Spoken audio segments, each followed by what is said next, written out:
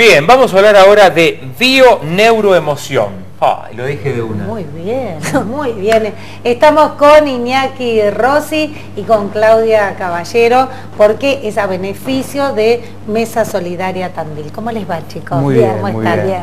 ¿Todo bien? gracias. Por Muy el bien. Al espacio. contrario, ¿qué es la bio-neuroemoción? Por La- favor, Iñaki de esas nanos. Sí. Sí, la persona que se tiene que ocupar de contarla es un médico eh, pediatra de, de acá de Tandil, que se llama Bernardo Jiménez, que me va a estar acompañando en esta charla que vamos a dar, que vamos a hablar de bioneuroemoción, pero el eje trascendental del evento es la espiritualidad. Es cómo encontrar la espiritualidad, cómo conectarse, qué significa y contar cada uno su experiencia. Eh, Vos decís espiritualidad y la gente piensa en religión. Sí. Así que contanos. Sí, ¿Qué? la religión lo que hace es como envasar la espiritualidad. Y yo creo que la espiritualidad es, es mucho más amplio. Eh, y cada uno va a contar su experiencia, eh, él más desde el lado de la medicina y desde la bioneuroemoción, entendiendo que el cuerpo eh, muestra síntomas para que nosotros podamos trascender lo emocional. Cada dolor y cada, mm, cada enfermedad o algún cáncer o ese estilo de cosas, eh, hay una emoción oculta, inconsciente, que lo muestra el cuerpo, que tiene que ser liberada. Eso es lo que va a contar más Bernardo, que es trascender el cuerpo. Y yo voy a contar un poco más mi experiencia como personal de un despertar espiritual y voy a contar un poco de, de estos temas que, que andan dando vueltas por Tandil. Sí, Eh, no, re- redondea la idea que ahora te hago una pregunta. Sí, no, ¿Esto a- que anda dando vuelta por Tandil a qué te refieres? Sí, al reiki, las energías, qué significa, qué significan las canalizaciones, qué significan los guías espirituales, la gente de otro plano, bueno, un poco de todo eso.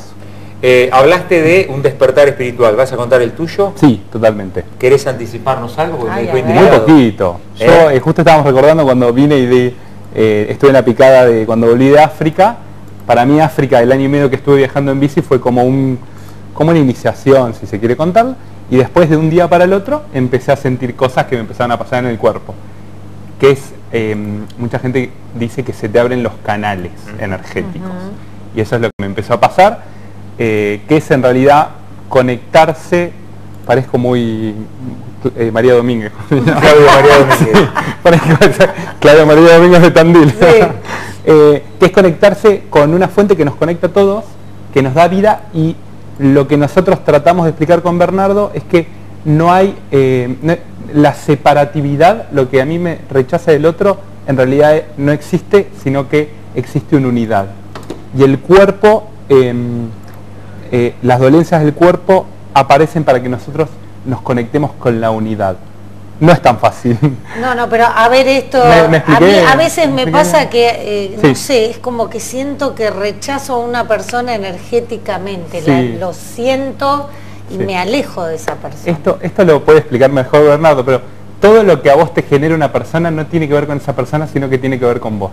¿sí? Simplemente o con un programa inconsciente que tenés que trascender o, o algo que tenés que aprender. Entonces, todo rechazo y toda adoración tiene que ver con eso. Así que de eso hablamos Muy también de meditación. Yo estoy dando talleres de meditación en el espacio Puentes. Y bueno, eh, cuando la gente se conecta con el silencio, cuando se anima a eh, liberar las emociones que quedan en nuestro cuerpo, empieza a encontrar un poco de tranquilidad. Hablabas de, de esa cuestión de si alguien me repele, en realidad el problema está en uno, no en otro, no en el otro, ¿no? No hay piel, pero el problema está en uno. ¿Cómo es eso? A ver, desarrollarnos un poquito. Significa que todo lo que nosotros tenemos enfrente es un espejo nuestro y nos viene a mostrar algo de nosotros. Esto no quiere decir que te quedes con gente que te haga mal, por ejemplo. ¿sí? Pero eso me hace mal, tiene que ver conmigo. Por ejemplo, en muchos casos, yo eh, trabajo en consultorio también, y en muchos casos de mujeres no, porque mi marido eh, me manipuló, me maltrató. Y lo que yo digo es, tu marido en esa situación o tu ex marido te viene a mostrar tu falta de valoración. ¿sí? Entonces, él simplemente es el espejo que probablemente tenga relación con tu padre o con tu madre, para que vos puedas sí. trascender esa información. No quiere decir que uno se tenga que quedar en, en situaciones conflictivas, sino que eh, el otro me viene a mostrar una parte de mí que si no fuera por el otro, yo no podría trascender. Es, eh, Oh. es bravo, ¿eh? viene a enseñarnos el otro, ese el que nosotros, Sí, por al que no queremos, al- viene a enseñarnos algo. Sí, por supuesto. Sí, sí. Y, hacer una lista. Sí, arrancamos con taca, taca, taca. Sí, porque también cuando yo peleo contra el otro, me mantengo en la fuerza. Yo te hablaba de personas que por ahí no conozco, no he, no he intercambiado una palabra, no sé quién es, pero hay algo que siento que es como una barrera de energía que tiene como el aura oscura y no puedo no puedo intercambiar palabras con esa persona sin conocerla. Bueno, si esa persona no te suma a tu vida, si, si sentís que no tiene nada que ver, puedes seguir tu vida y esa persona hacer la suya y está bien. Eh, pero bueno, de todas, de todas maneras hay algo que habla de vos ahí, que habría que, ver que no sé qué es, ¿no? Una parte de uno que no quiere ver y la ve en el otro, que se llama la sombra o la proyección un poquitito eso, de, algunas cosas de ese estilo vamos a estar hablando. Qué Interesante. ¿eh? Muy, muy interesante. ¿Esto va a ser cuándo, Claudia? Esto va a ser el 27, o sea, el miércoles que viene a las 20 horas en el Teatro del Fuerte. Es de entrada, Iñaki puso libre y gratuita, entonces estamos súper complicados porque se llenó, hay capacidad para 495 personas y tenemos alrededor de 1200 Así que bueno, Iñaki está gestionando la manera de cómo podemos hacer. ¿Ya se anotaron 1200? Sí, En, tres días, no, dos días. Ayer arrancamos la inscripción, sí, en una hora teníamos 100, en cuatro horas teníamos 400 y hoy 1200. Es impresionante cómo se viraliza. No, no, no, tremendo. ¿Y ahora qué van a hacer? Eh, ¿Otro cantaremos no, eh, en realidad se le va a dar prioridad a las personas que primero lleguen para tener lugar y acceso a, digamos, estar sentadas cómodamente en la butaca. Y después vamos a tratar de gestionar alguna pantalla, que fue idea por ahí desde los chicos del Teatro del Fuerte, que realmente hay que destacar la colaboración, la buena onda, la energía positiva de toda, de toda el área. Eh, que nos está ayudando muchísimo a, organizar esto. Correcto. Sí, yo quiero aclarar, perdón, ¿eh? una cosita que la charla no es específicamente sobre bioneuroemoción, sino es que es sobre el despertar espiritual. Es para que no, no se confunda. Vamos a hablar eh, la bioneuroemoción como herramienta para entender el despertar espiritual y que cuando uno escucha el cuerpo puede entender que hay algo que lo une con todo, eh, pero en realidad es más el despertar espiritual. Nada de eso, perdón. Bien, no, no, no, sirve, sirve, sirve. Eh, pensaba eso que vos decías, ¿no? De la otra persona, cuando hay alguien que, que yo rechazo, ¿no? Pensaba si esto tiene que ver con el perdón con el perdonar al otro para hacerme bien a mí. Y el perdón es, uf, es... Sanador. Sí, no, tremendo. No es fácil perdonar y antes de perdonar probablemente haya que odiar y está bien, ¿sí? Porque si hay algo que me genera dolor, yo tengo que odiar para entender que ese dolor está, para después aceptarlo, para después perdonarlo. Hay como varios pasos. Sí, pero el perdón es como que te ahorra la, la, la corrida, ¿viste? Es como, no sé, gente que me dice, no, yo eh, perdono pero nunca olvido. Bueno, eso no es perdón.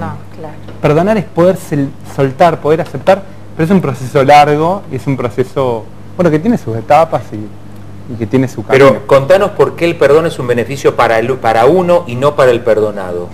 Porque siempre lo que me hace el otro, siempre es interno. Si yo tengo algún conflicto con mamá y con papá, que es un poco el kit de la cuestión, las heridas de amor más profundas, realmente las tenemos con ellos, eh, es mi propia imagen de mamá o de papá que yo tengo internamente. Yo no tengo que ir y va, va, va, decirle todo a ellos. Yo tengo que cambiar mi propia imagen. Para eso tengo que entender que ellos hicieron lo que pudieron con las herramientas que pudieron para aceptarlo y para que mi imagen mía cambie. Lo impresionante de todo esto es que cuando yo cambio mi imagen, simplemente hago el camino interior, afuera se transforma. No, no, no tenemos que estar hacia afuera para que cambie adentro hay algo que yo tengo que soltar, hay algo que yo tengo que perdonar para que... Y el afuera, le juro, en esta mesa, le juro que cambia. Eso es lo impresionante. ¿Me explico lo que digo? Sí, sí, sí. Es como, em, no sé, em, yo soy psicopedagogo y me vienen por consultas de, alumnos, de chicos. Y es que el padre, lo que le molesta al hijo, el problema no lo tiene el hijo, sino el padre. Y el hijo le viene a mostrar algo a ese padre. Entonces yo le digo, vos no trates de mejorar tu relación con tu hijo. Vos simplemente empezá internamente a transformarte y después la relación cambia sola. ¿Me explico lo que digo? El camino es siempre de adentro para afuera. No es tan fácil. Pero no me tienen que creer, no me tienen que creer tampoco. Pero em, es algo que, em, que, uno lo tiene que vivenciar. Eh, todo cambio es complicado, es difícil lleva tiempo, ¿no? Y, pero necesitas también cuando hablo de maestros hablo de, de, no sé, puede De ser, guías. de guías que pueden ser oficiales o no, porque por ahí hay maestros de la vida que te los vas cruzando Claro. y te tiraron una palabra y te dicen, che, tal cosa, y te ayudó, ¿viste? Alguien te mandó para que te guiara, o maestros, guías, qué sé yo, eh, espirituales, religiosos o no, pero bueno, siempre a veces tiene que haber un- alguien que te, que te acomode un poco, ¿no? Sí, totalmente. Y la gente, yo lo que noto todos los días es que la gente está muy triste. Atrás de, de toda esa vorágine de tener que trabajar, hay mucha tristeza. Hay tristezas por heridas de su infancia, hay tristeza por no estar contento con lo que uno hace. Entonces, eh, la gente se está abocando mucho al espiritual como una búsqueda desesperada de su tristeza. Y además uno no termina nunca de aprender No, obviamente. A, a tratar de tener, de estar mejor, de estar mejor con uno mismo, con sus relaciones. Es un aprendizaje que ahí, ahí está lo lindo, no, Sí. no terminar nunca, ¿no? Y eh, encontrar un una cierta paz, en donde uno lo que hace le da cierta tranquilidad. Eso es como lo que yo busco. Hay chicos que vienen y me dicen, no, porque estoy por repetir, y si repito. Yo creo, yo, ¿eh? Que hay un orden perfecto de las cosas. Claro. Y si alguien tiene que pasar por la experiencia de repetir, va a ser por Tiene algo y tiene que claro. repetir y tiene que aprender. Pero no, a mí no me importa si pasa o repite, a mí me importa que pueda entender, que pueda aprender y que pueda encontrar una cierta paz en lo que va haciendo. ¿Por qué la vida lo puso en ese lugar? ¿no? Exactamente, qué es lo que tiene que aprender, para qué le está pasando esa situación, qué información de sus padres, de sus abuelos, de sus bisabuelos tiene que trascender. Eh, bueno, eso es un poco... Ay, me, me apasiona este tema. La charla. Sí. ¿Tenés que venir? ¿No podés venir? Estás complicada con el trabajo. Sí, estoy complicada, Bien. pero tengo ya representantes que van a ir. Bien, bien. Vamos a recordar cuándo, dónde, y esto es a beneficio, así que mencionemos eso también. Sí, en este despertar, digamos, espiritual también hay que reconocer que Tandil es súper solidario. Entonces, bueno, en este evento estamos solicitando que con, a modo de entrada puedan participar las personas aportando algo, alguna útil escolar. Puede ser carpetas, hojas, lápices, mochilas, puede ser usado en buen estado y esto va a ser, eh, digamos, acercado a tres organizaciones sociales Ajá. que son Jano por Todos, CONIN y Cadena de Favores, las cuales trabajan con eh, una población vulnerable y a ellas eh, se les va a Bien. brindar, digamos, esta ayuda para, para el ingreso escolar de los chicos. Bien. Así que bueno, nada, agradecida, agradecida por toda la gente que se está sumando en este evento y que nos está Cantidad, ayudando. impresionante. Sí. Impresionante. En dos días, no, no lo podemos creer. Eh, sí, Sí. él no lo puede creer. Yo Sí. dije, cuando esto lo viralicemos, Obvio. explota. Sí. Eh, la verdad que sí, maravillados y esto habla, bueno, un poco de lo que dice Iñaki que tiene el contenido.